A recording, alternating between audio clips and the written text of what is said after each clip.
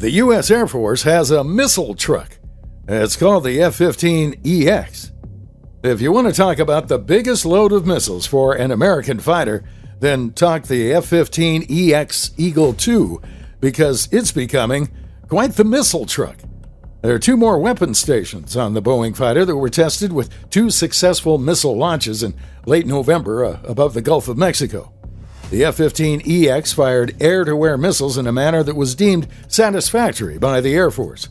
This evaluation was noteworthy because now the F 15EX can carry a load of 12 missiles. Other F 15 variants can only deploy 8.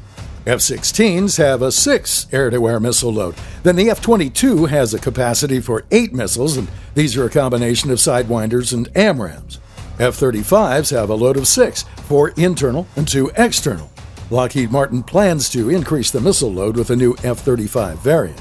The extra weapon stations are at the tips of the wings on the F 15EX. And this worked well for the 96 test wing that ran the evaluation for the firing. One F 15EX launched an AMRAAM and another fired a Sidewinder during the November test. It happened over the Eglin Test and Training Complex's water range.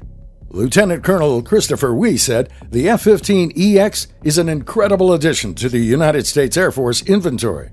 This event, executed by a top notch team of test pilots, engineers, and experts, proves yet again that the F 15EX will be ready if and when our adversaries challenge our nation's interests. This is a significant milestone for the F 15EX to show that it can be an aerial combat stalwart. There's been some grumbling that since the new Eagle II is non stealth, that it would not make any difference flying over contested airspace against an adversary like China.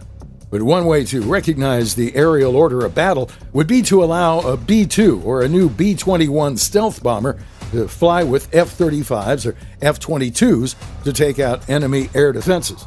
Then the F 15EX could join the battle on day two or day three of the conflict and blast away with its missile load and dogfights.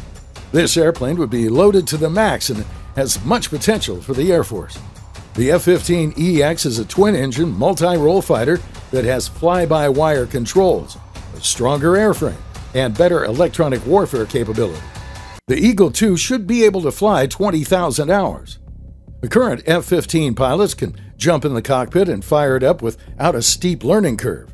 Maintenance crews should transition smoothly when it comes to keeping the airplane in the air.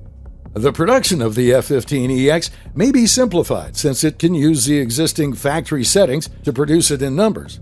70% of the parts are the same.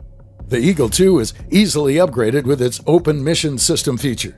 The F 15EX also features the Eagle Passive Active Warning Survivability System and the AN APG 82 radar. The Eagle II is considered a fourth generation plus plus fighter. The F 15EX is going to Air National Guard units, and some pilots have already remarked that flying it is awesome. And not everyone is convinced that the F 15EX should be a major acquisition buy. Congress trimmed its overall order in the coming years from 144 fighters to 80. The FY 23 National Defense Authorization Act funds 24 F 15EXs to enhance the F 15C and D fleet.